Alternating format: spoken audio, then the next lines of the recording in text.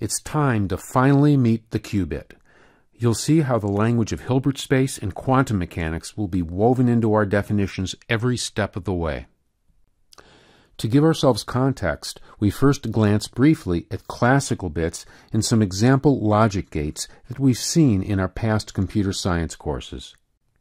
In case you forgot some terminology, I introduced the terms unary and binary logic gates, and in two quick pages we're done saying goodbye to our old ways. When I wrote this chapter, I decided to add a section that gives your old classical bits and operators a formal setting. I think it might make the change to qubits more natural. On the other hand, it may just confuse you, so treat it as optional, which is how I labeled it, and feel free to go directly to the section titled The Qubit. There's a formal definition for a qubit which is a little counterintuitive, but I follow it quickly with the more common definition. You should read and understand both. This is the moment you've been waiting for since the first day of class. You can now look at the qubit with complete comprehension of what its individual parts mean. As you can see, it's any normalized superposition of the two natural Hilbert space basis vectors. Hold on a minute.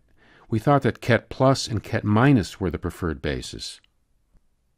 Quantum computer scientists use ket 0 and ket 1 to stand for the natural z basis of H. New names, same vectors. And we call such bases computational basis states, or CBS. The notational change helps us situate the two classical bits which are still there, now swimming in an ocean of quantum states. In other words, the classical bits 0 and 1 correspond to the two computational basis states. Next, we'll see the formal definition for a quantum logic gate, this week restricting ourselves to unary gates. That may seem boring, but I assure you, unlike classical computing, in which there are, a grand total of four one in and one out operators, there are infinitely many unary gates in the quantum world. We'll use the quantum NOT, or Q-NOT gate, as a case study. It's rich enough to have all the features of other quantum gates, but simple enough to use as a learning laboratory. By the way, the Q-NOT operator is also called X, since its matrix is similar to the SX operator of Hilbert space. Don't read this subsection too fast. It has many facets. We'll comment on the unitarity aspects of the operator, how it behaves on computational basis states, and the effect it has on superposition states. We'll see its matrix and meet its circuit symbol. And of course, we'll do lots of examples. I'll introduce you to a few more unary gates, including the versatile Hadamard operator that makes its way into practically every quantum algorithm that we'll study. The probabilistic nature of qubits and their measurements really comes into focus in this chapter as we see exactly how the expansion coefficients, the amplitudes, relate to measuring a qubit's value.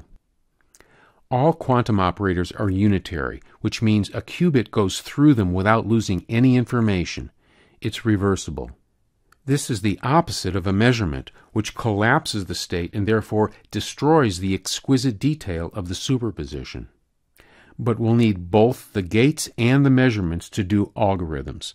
We'll send our qubits through the gates without otherwise destroying them, and then, when the time is right, whack, we'll measure them. All qubits eventually have to be sacrificed, but we'll do that only when we're sure we'll get the most bang for our buck.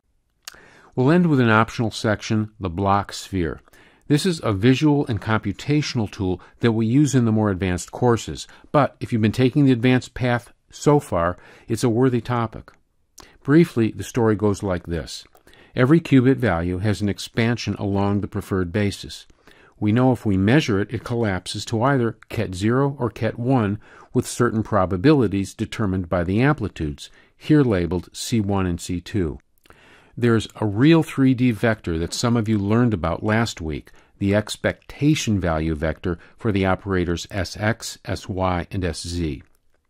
That vector can be truly visualized, so it allows us to see the state as if it were a unit vector in R3, three-dimensional Euclidean space.